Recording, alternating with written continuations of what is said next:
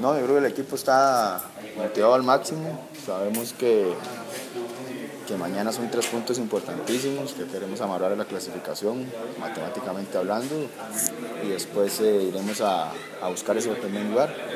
Entonces con la seriedad de que tenemos un buen equipo al frente, un equipo trabajado, un equipo también que es muy fuerte en la bola muerta.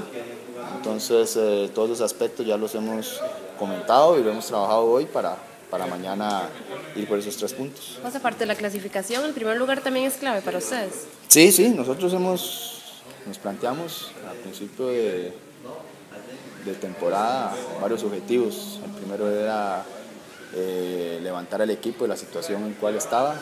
Para nadie es un secreto que nosotros empezamos este torneo, empezamos eh, con igualdad de puntos con San Carlos. Entonces ese era el objetivo primordial. Después el objetivo secundario era clasificar. Matemáticamente mañana un punto lo alcanzamos también.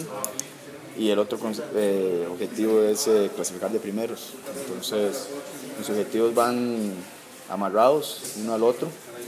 Entonces ya estamos a pasos, a fechas de, de lograr esos objetivos y, y, después sabemos que es un campeonato aparte. ¿Cómo han tomado el que llevaban bastantes puntos de ventaja y ahora solamente cuatro del segundo lugar? No, no, algo normal. Son curvas que se dan en todos los campeonatos. Cuesta mucho que un equipo, usted lo ve solo en la liga inglesa o en Alemania, que, que se sacan 20, 15 puntos de diferencia. Es un campeonato muy competitivo nuestro. Hay, hay equipos que pasan por momentos emocionales importantes, eh, hablando de Heredia,